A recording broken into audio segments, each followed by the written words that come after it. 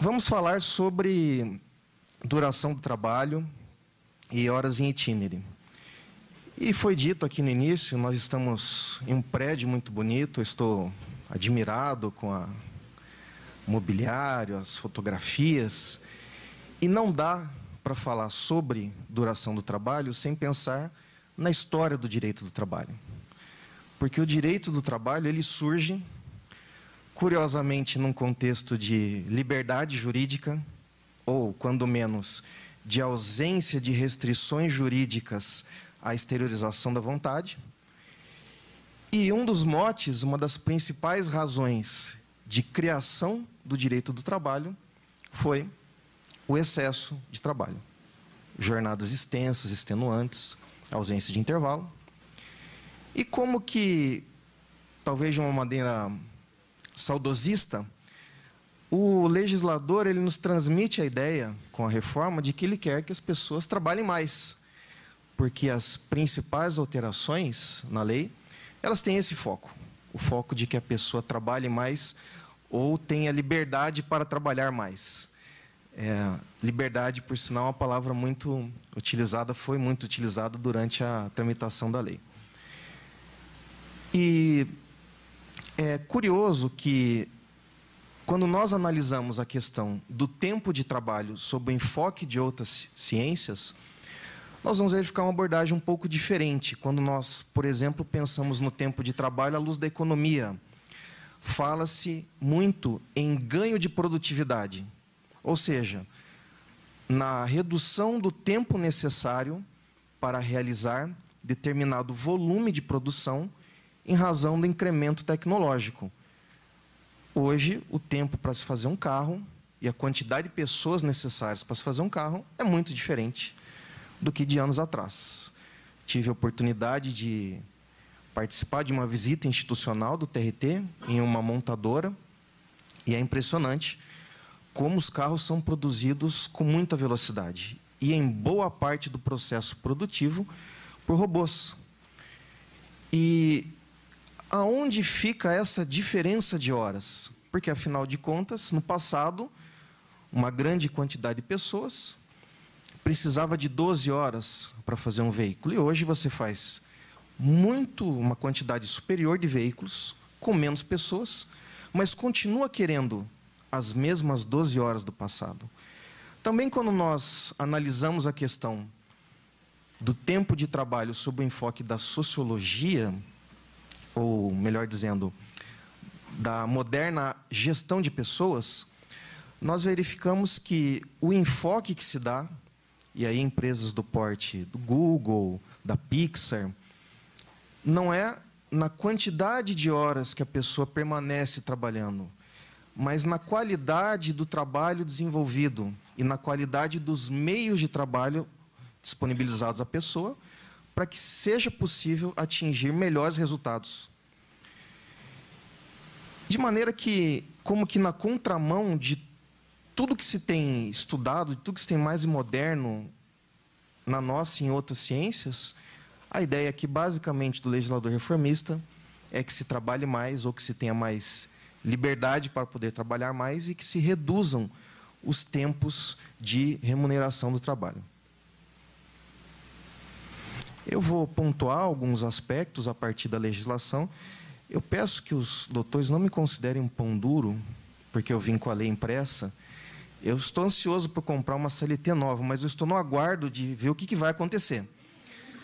É, iniciada a vigência da lei no dia 11, no dia 14 já tivemos MP, até o último dia 22 do 11, mais de 900 emendas e aí não se sabe se realmente o texto é tão ruim assim, ou se talvez uma intenção de uma obstrução velada. Mas o fato é que ninguém sabe ao certo o que vai acontecer. Então não me tenham como pão duro, estou esperando para ver aonde vamos chegar com tudo isso para poder comprar uma CLT novinha. Bom, começamos com o artigo 4 da CLT. E a minha proposta, antes de falar do artigo 4 é fazer uma análise crítica, mas uma análise crítica no sentido de uma análise reflexiva. Não necessariamente para falar mal da lei, mas para que a gente possa pontuar situações que nos façam pensar inclusive sobre formas de aplicar a lei. O doutor Manuel trouxe um exemplo na lei, me permita, doutor Manuel, de uma mula sem cabeça, porque afinal de contas a gente tem o inciso, mas não tem o caput. Mas eu diria que a lei é repleta de outras situações, como, por exemplo, e esse para mim é o ápice, o cheque visado. Em pleno ano de 2017, nós temos na CLT a previsão do pagamento das verbas dissolutórias com cheque visado. A maioria dos doutores aqui desconhece o que seja isso, porque seguramente não viram um cheque visado. E quem não viu pode até pensar, mas o que seria esse cheque visado? Seria um cheque com um papel mais bonito, uns cristalzinhos, enfim. Porque é algo que não existe mais. É algo que existia em um determinado momento histórico, mas na hora de arrumar, ah, deixa o cheque visado aí mesmo, né? não é isso que a gente quer alterar.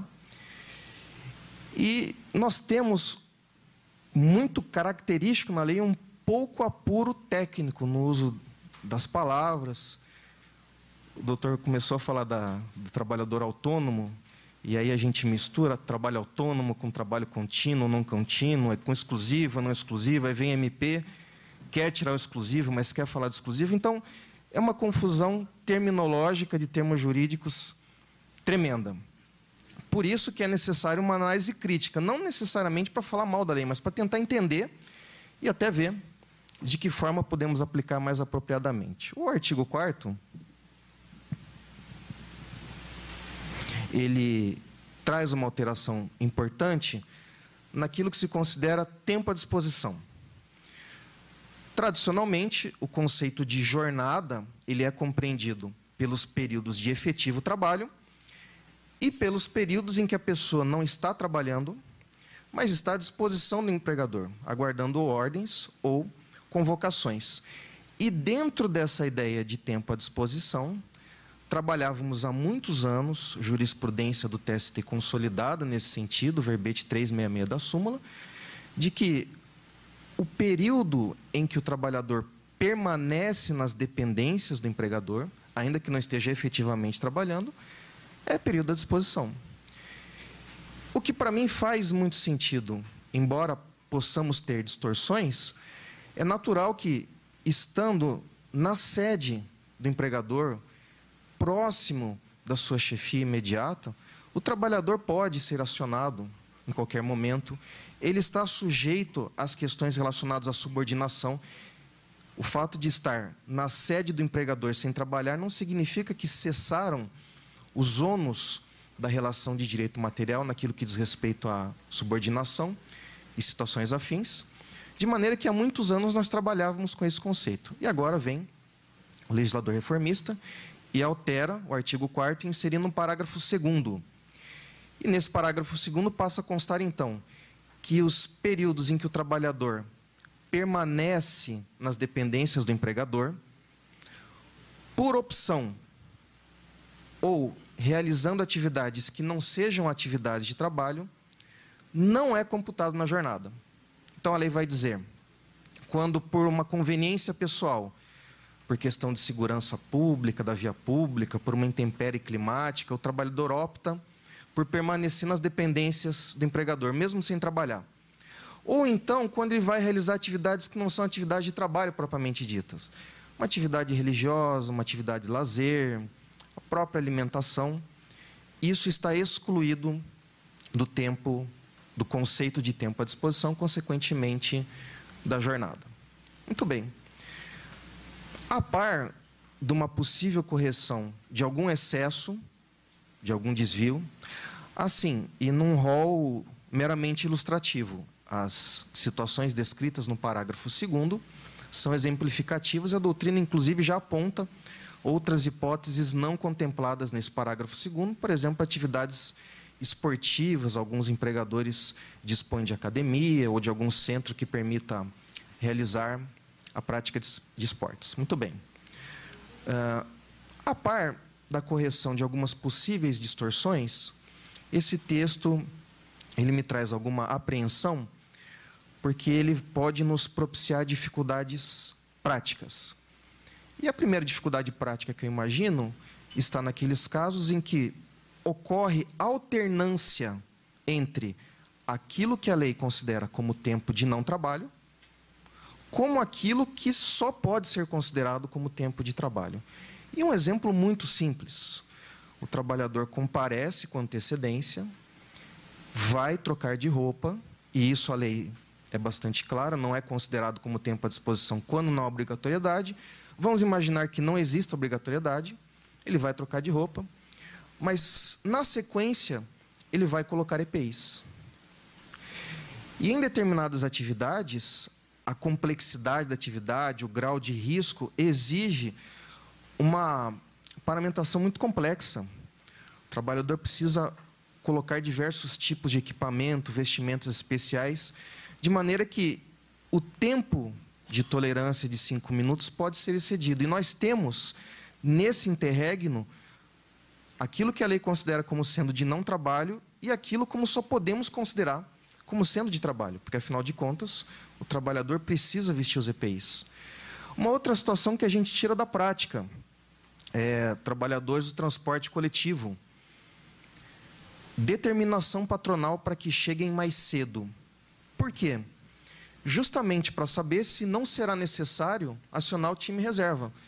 Não dá para, no contexto do transporte coletivo, com regras administrativas, horário de linha, etc., o trabalhador, cinco minutos antes, ligar e falar: Olha, já não posso trabalhar.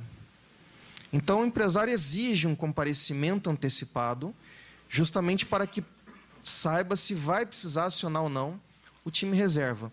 E nesses casos em que o comparecimento antecipado, ainda que não ligado diretamente a uma prática de trabalho, decorre de determinação do empregador? Será que a gente vai poder entender que a despeito da ordem de chegar mais cedo, eu vou ter que concluir que isso não é tempo à disposição, uma vez que a lei afasta do conceito de tempo à disposição período sem trabalho. E ainda na situação desse motorista, muitas vezes ele chega, permanece por um tempo sem atividade e nos momentos que antecedem a saída da garagem até o ponto inicial da linha, ele faz verificações no veículo verifica óleo, pneu, água, às vezes precisa acionar o motor em razão de alguma particularidade do veículo.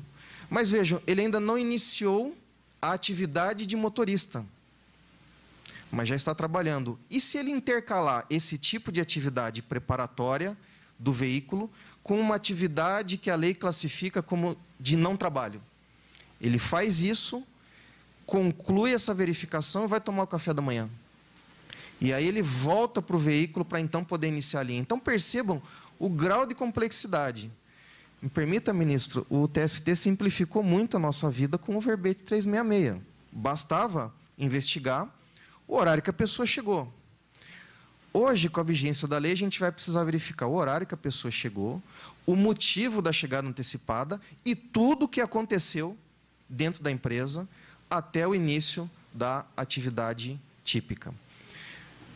Uma última consideração: é, embora a lei refira a situações que não integram o tempo de trabalho, em alguns casos, isso já tem sido debatido pela doutrina, nós podemos ter, é, pelas particularidades do empreendimento, a vinculação disso que é tido como tempo de não trabalho a jornada. E um exemplo muito simples: a lei exclui os períodos de higiene, mas vamos imaginar aqueles casos em que o trabalhador, para iniciar a atividade, precisa se submeter a um processo complexo de higiene, ou naqueles casos em que após a atividade ele precisa realizar uma higiene mais complexa, porque ficou sujo, impregnado de produtos, enfim. E no meio industrial existem várias atividades com essa característica. Produção, por exemplo, de biscoitos, chocolates, muitas fábricas ali na nossa região, elas exigem um grau de higiene altíssimo. E muitas vezes o trabalhador precisa passar por todo um processo de higienização preventiva para só então adentrar a linha e começar o trabalho. E curiosamente, o registro do ponto só acontece depois desse período complexo de higienização. E na saída também, aqueles casos em que a pessoa trabalha com óleos pesados ou com produtos químicos que ficam impregnados na roupa, na pele. Então, embora a lei diga que período de higiene não é tempo à disposição, nós podemos nos deparar com situações concretas em que a higiene é uma exigência intrínseca, eu diria, ou uma decorrência natural da atividade profissional.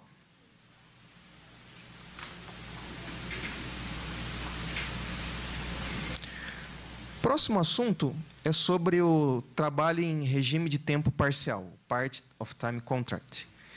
E tivemos duas alterações: a alteração da definição do que é trabalho em regime de tempo parcial e na parte das férias. Eu vou me ater à questão da duração do trabalho. E aqui os doutores me permitam, eu preciso fazer uma confissão. Eu fui para o direito também, porque eu nunca fui muito bom com matemática mas vim parar justo no direito do trabalho, onde a gente faz contas diariamente. Enfim. Mas o fato é que eu continuo me achando ruim com matemática. Então, talvez os doutores me ajudem a compreender um pouco as contas que o legislador fez. Na definição atual de trabalho em regime de tempo parcial, nós temos a duração máxima da carga horária semanal, expandida das 25 horas originais para 30 horas. Então, hoje, trabalho em regime de tempo parcial é aquele que não excede a duração de 30 horas semanais. Mas também é trabalho em regime de tempo parcial aquele de até 26 horas, com a possibilidade de realização de 6 horas extras, 26, 6, 30, enfim, eu não entendi, mas eu reconheço que é a minha deficiência com matemática. O fato é que nós temos duas balizas bem claras aqui. Uma baliza, digamos assim, padrão, a carga horária semanal de até 30 horas, e uma baliza, digamos assim, mais flexível, de até 26 horas, na qual admite-se excepcionalmente a realização de até 6 horas extras no curso da semana. A minha principal preocupação com esse dispositivo é a seguinte: é, o site do TST, os doutores podem consultar a decisão recente da subseção de decisões individuais 1. TST aplicando a inteligência do verbete 199, é aquele verbete que trata da pré-contratação de horas extras, no caso do bancário, aplicando então a inteligência desse verbete a um radialista e transmitindo, portanto, a ideia de que essa vedação da pré-contratação de horas extras não fica restrita ao bancário. Ela aplica-se a outras categorias profissionais. Muito bem.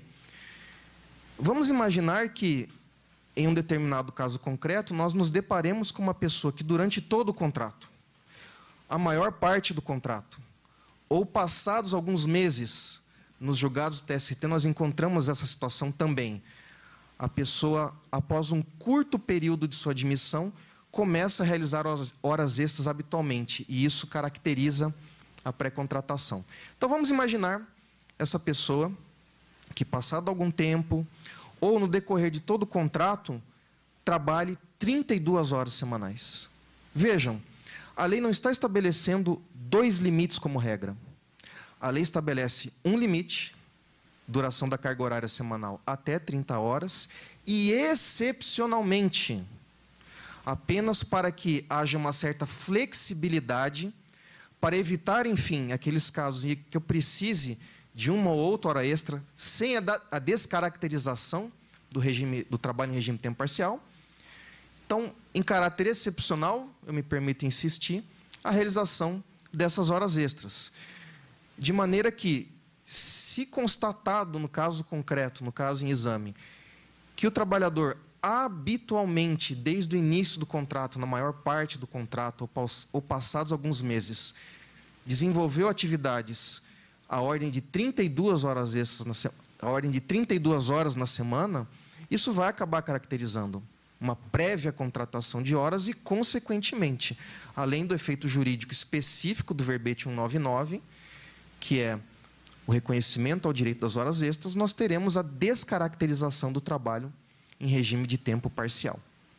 Ainda sobre essa figura, a lei permite a compensação de horários desde que ocorra na semana seguinte e não ocorrendo a compensação, o pagamento no mês subsequente.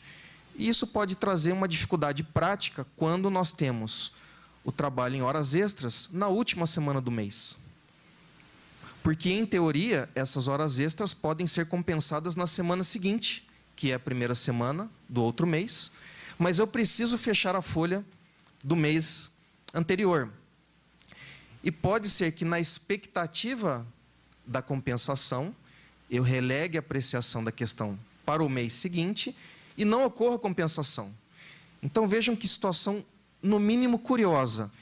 A aplicação literal da lei pode conduzir à situação em que, embora a lei diga que as horas extras devem ser pagas no mês subsequente, no mês imediatamente posterior, pode acontecer da pessoa trabalhar, por exemplo, em janeiro, na última semana, na expectativa que vai compensar em fevereiro, mas não faça compensação em fevereiro.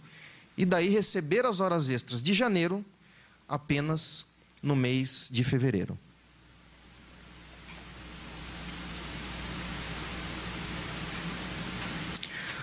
O outro assunto diz respeito às horas em itinere. E aqui nós já temos uma controvérsia bastante acentuada na doutrina, nos autores que escrevem sobre o assunto, sobre o alcance da medida e de uma efetiva alteração. Nós sabemos que, historicamente, desde, salvo engano, 1978, a Justiça do Trabalho reconhece que o tempo de trajeto, o período de deslocamento, naqueles casos em que o empregador se situa em local de difícil acesso ou não há transporte público regular, ou transporte público em horário compatível com o horário de trabalho, esse período ele é integrado à jornada. E agora vem o legislador reformista e exclui, exclui do conceito de tempo à disposição de jornada esse período em itinere. E é interessante analisar o histórico os debates e pensar naquilo com que podemos nos deparar futuramente. Qual que é o histórico do verbete 90? O verbete 90, ele surge basicamente em contexto de trabalho rural. Em situações em que a pessoa precisava se deslocar a distâncias bastante elevadas, locais ermos, alguns dos precedentes do verbete 90 vão falar isso. Local ermo, tem um julgado que, se não estou enganado, chega a falar de trabalho mata adentro. Então, era aquele tipo de prestação de serviços realizado de uma forma bastante distante do perímetro urbano, onde há circulação de transporte público. De maneira que a única forma de chegar ao local de trabalho consistia realmente no uso do transporte fornecido pelo empregador. E, naturalmente, nessas situações de local ermo, local fora do perímetro urbano, não há transporte público. Por isso, é, o trabalho com esses dois conceitos, de local de difícil acesso e de local não servido por transporte público. Porque, afinal de contas, local de difícil acesso não tem transporte público. E, por conta disso, o TST, entendendo que não se poderia simplesmente desconsiderar todo esse tempo de deslocamento, e nos precedentes nós tínhamos tempo bastante acentuado, uma hora ou mais, reconhece então como período de tempo à disposição, essas horas em itinere. Muito bem, isso é inserido na lei, posteriormente em 2001, e agora, sem uma justificativa, eu diria, muito forte, muito robusta, é simplesmente excluído sem uma regra de transição ou sem pensarmos em possíveis situações excepcionais. E eu digo ser argumentos muito robustos porque o que, que a gente ouve, ou o que, que nós ouvimos durante a tramitação da reforma? Né? Quando a gente conseguiu ouvir alguma coisa, porque afinal de contas a tramitação foi bem acelerada. Né? O, a regulamentação do inciso 1 do artigo 7 ainda não foi possível. De 88 para cá, a gente ainda não teve tempo para pensar a respeito, mas, no caso da lei da reforma trabalhista, ela andou bastante, é, de uma maneira bastante apressada. Muito bem. A gente ouviu que o empregador ele fornece um benefício. é muito melhor o transporte fornecido pelo empregador do que o transporte público, é mais confortável, é mais seguro, o trabalhador é apanhado em locais mais próximos de sua residência, não precisaria se deslocar, portanto, até um ponto de ônibus, enfim. E são argumentos válidos. Eu não descarto essas considerações. Mas eu preciso compartilhar muito rapidamente uma experiência que eu tive realizando uma inspeção judicial em uma multinacional. E o que eu verifiquei nessa inspeção judicial? Discutia-se justamente o tempo é, antecedente ao registro do ponto, o tempo entre a chegada na empresa e o registro do ponto, e alegações muito discrepantes, uma empresa que gerava diversos processos, e eu resolvi então fazer a inspeção judicial. É, por sinal, a, alegação era de que a catraca era liberada às 5h31 da manhã, já com formação de filas. Eu não vi outra alternativa, doutor Manuel, que designar a inspeção judicial para 5 horas da manhã, para poder ver se realmente havia formação de fila e tal. Imagino que os advogados não devem ter ficado muito felizes comigo, mas foi a maneira que eu encontrei de fazer uma análise mais consentânea com aquilo que realmente acontecia. Muito bem. E eu confesso que eu fiquei muito impressionado com o padrão tecnológico da, da empresa. E o que eu quero destacar é que, em razão do sistema de fornecimento de transportes, a empresa conseguiu acomodar entre 5 e 31 da manhã, 5 e 31 da manhã é literalmente o horário de liberação da catraca. Quando o preposto me disse isso, confesso que eu tive até uma vontade. 5 e 31? 5 e 30, vai. Não, doutor, é 5 e 31. 5 e 31 de relógio, tocou um apito e a catraca foi liberada. E nesse período entre 5 e 31 e 5 e 59, a empresa acomodou 700 trabalhadores em diversos setores de trabalho. Eu perguntei ao preposto o tempo médio entre a chegada do ônibus, do fretado, a descida dos trabalhadores, a saída do ônibus e a chegada de um novo ônibus. E o preposto me disse, isso antes de começar os trabalhos. Doutor, é um minuto. Minuto. Um minuto de relógio. Eu, inclusive, coloco na inspeção. Eu acompanhei um veículo em especial. A hora que ele encostou, eu comecei a olhar no relógio. E a hora que ele saiu, eu olhei para o relógio novamente. Ele levou um minuto para encostar, descerem os trabalhadores e ele sair. E precisava ser assim, porque logo em seguida chegou outro transporte. O que eu quero dizer com isso é que o fornecimento de transporte é sim positivo para o trabalhador.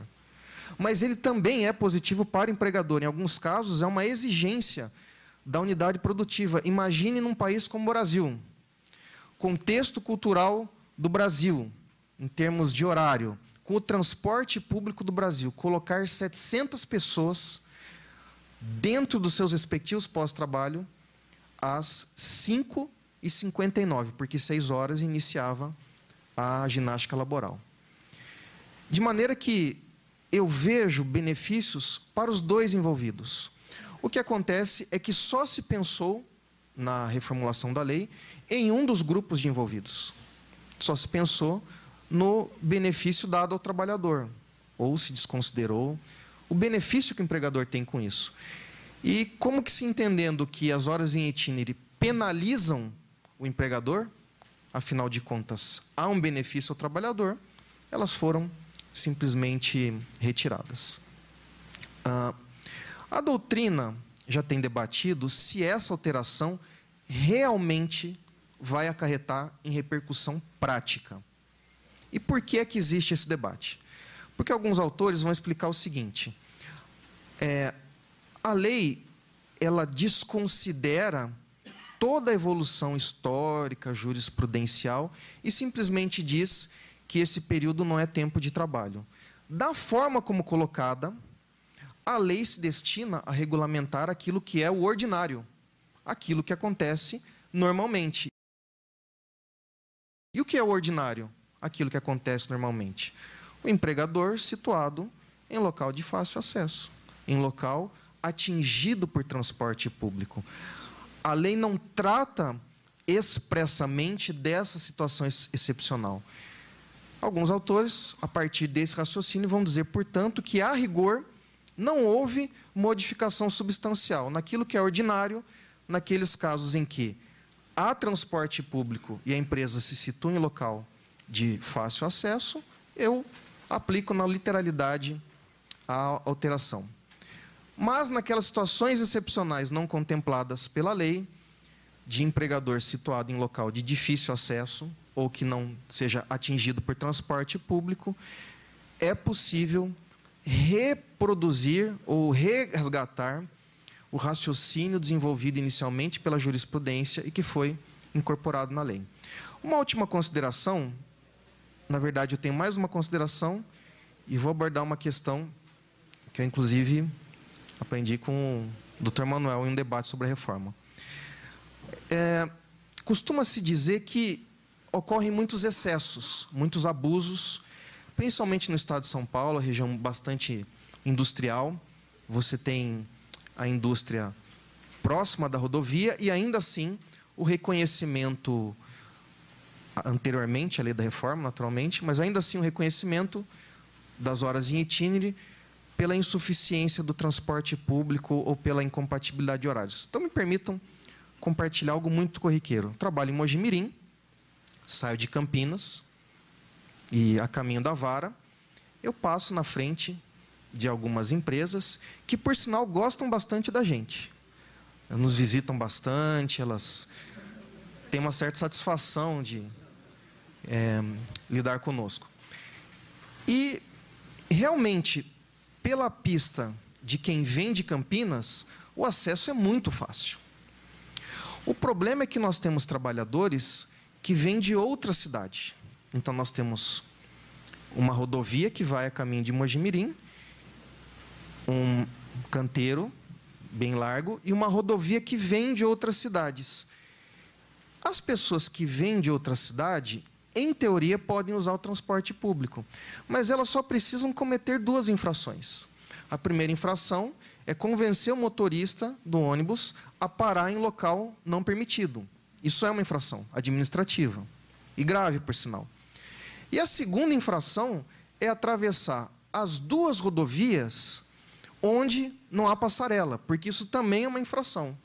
Então esse trabalhador, ele precisa induzir o motorista do ônibus a praticar uma infração e ele, trabalhador, precisa praticar uma infração.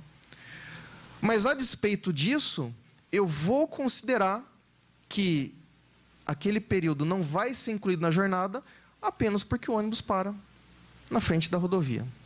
Então percebam, nós precisamos examinar as particularidades do caso concreto. Não é um comando legal genérico e abstrato, e me permitam, abstraído da realidade, em muito daquilo que a gente vê nos processos, que vai nos impedir de examinar esse tipo de pormenor. A consideração final sobre esse tema diz respeito ao trabalhador rural. O Dr. Manuel levantou num, num encontro uma questão bastante interessante. Será que o trabalhador rural é atingido por essa alteração? E uma primeira resposta mais apressada é no sentido que sim, essa alteração valeria para todos os trabalhadores. Porém, quando vamos ao decreto que regulamenta o trabalho do rural, o artigo 4 do decreto, ele detalha os textos da CLT aplicáveis ao rural, nós sabemos que a CLT a priori não se aplica ao rural. Artigo 7 a linha B. Mas, excepcionalmente, conforme a regulamentação, o artigo 4 do decreto, ele esclarece quais são as passagens da CLT aplicáveis ao rural. E o artigo 58 não está entre essas passagens. Ainda que eu adote a interpretação literal, a partir de agora, qualquer que seja a situação, não há direito a horas em itinere. Me parece que não é possível utilizar essa disposição para justificar a não análise ou a não concessão, quando presentes essas situações de local de difícil acesso ou sem transporte público, para o trabalhador rural.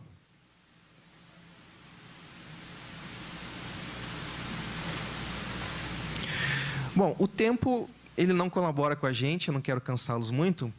Eu vou apenas é, abordar mais duas questões da parte de duração do trabalho, comentários bastante abreviados. Uma, é, até pedido do Dr. Marco, a nova hipótese de exclusão do capítulo da CLT que trata da duração do trabalho e o intervalo entre a jornada. Artigo 62 da CLT trata das pessoas excluídas do capítulo 2, título 2 da CLT, que é o capítulo que versa sobre duração do trabalho.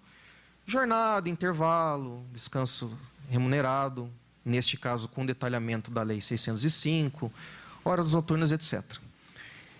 E o teletrabalhador é inserido, então, no inciso 3. E é bastante curioso porque quando nós vamos investigar a experiência no direito estrangeiro sobre o teletrabalho, sobretudo na Europa, notadamente na Alemanha, Alemanha nós temos o Telearbeit, não sei se a pronúncia é essa. É, nós verificamos que uma das principais preocupações dos autores e da jurisprudência reside no fato de o teletrabalho ser realizado com mecanismos que viabilizam controle. Porque nesses casos, na visão dos estrangeiros, isso dá direito a horas extras. Porque nos outros sistemas, diferente do nosso, isso eu achei muito peculiar, não há essa preocupação de excluir a priori o teletrabalhador de aplicações relativas à duração do trabalho, de textos normativos relativos à duração do trabalho.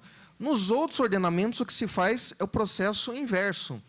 Eu primeiro verifico se naquela prática de teletrabalho existe alguma forma de fixação de horário, de acompanhamento de horário, de controle de horário, para só então chegar à conclusão de incidência ou não de horas extras. E aqui no Brasil, a gente aparentemente trilha o caminho inverso. Eu digo aparentemente porque quer me parecer a despeito do inciso 3 do artigo 62, como o doutor colocou muito bem, não conter o mesmo detalhamento do inciso 1, é da própria natureza do teletrabalho que ele seja realizado sem uma ingerência direta do empregador na atividade.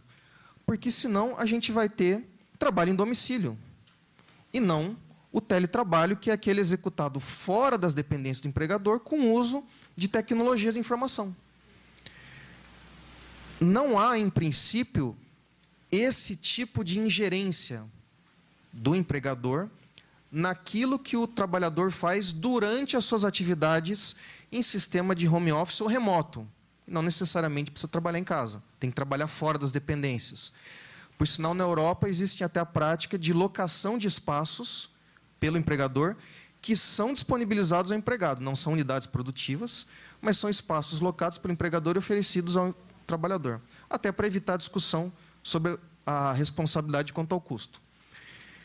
Muito bem, se nós temos, em um caso concreto, uma situação em que verifiquemos a definição, o controle e o acompanhamento de horário remotamente, e isso é perfeitamente possível, quer me parecer que isso vai descaracterizar o teletrabalho, ao menos como uma hipótese excluída do artigo 62, excluída, perdão, ao menos como uma hipótese inserida no artigo 62 e de exclusão do capítulo 2, título 2 da CLT.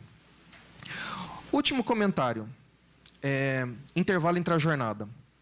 Aqui, nós tivemos uma verdadeira contestação inserida na lei.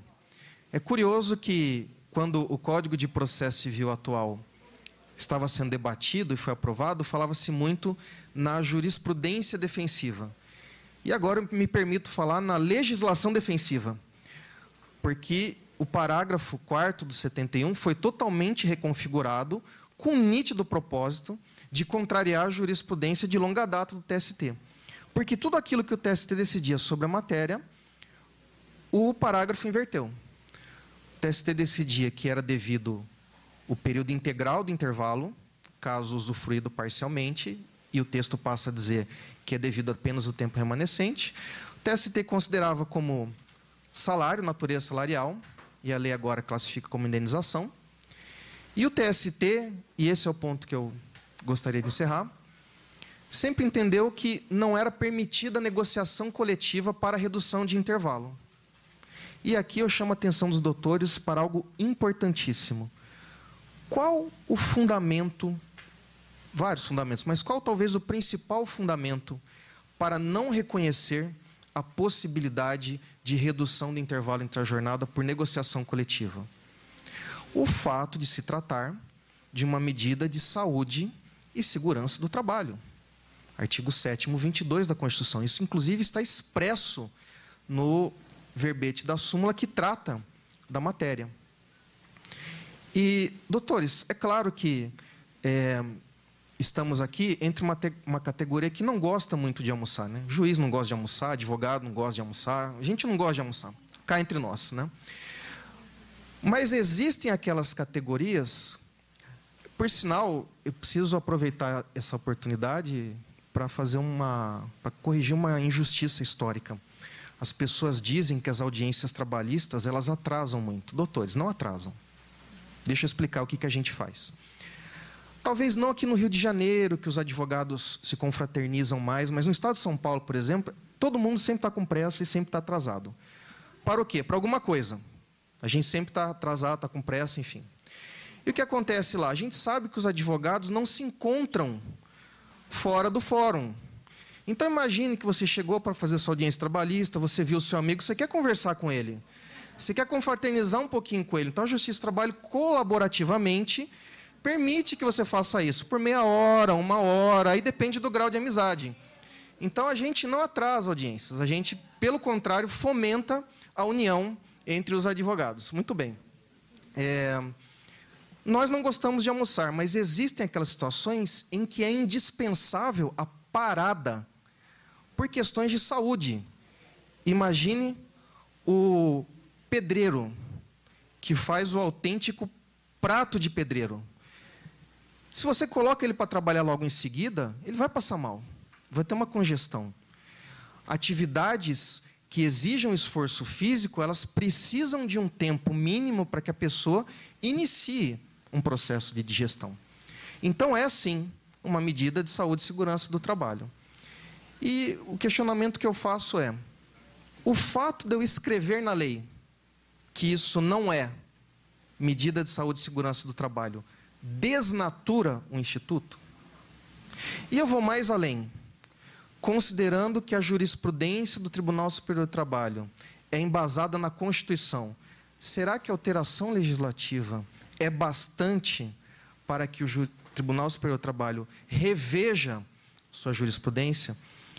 Quer me parecer que nesse aspecto, em que pese as outras duas situações, a do tempo residual e da natureza da verba quando paga, não vejo como um retrocesso, uma revisão da jurisprudência em razão da alteração legislativa, porque o fundamento está na Constituição Federal. Muito bem, eu sou daquelas pessoas que gostam muito de ouvir a própria voz, mas eu realmente preciso parar. O doutor já me advertiu aqui, ele já me disse que não vale o negociado pelo legislado. Aqui tem que ser o legislado. Então agradeço muito, foi uma grande honra, uma grande satisfação. Os doutores foram muito atenciosos e gentis. Muito obrigado.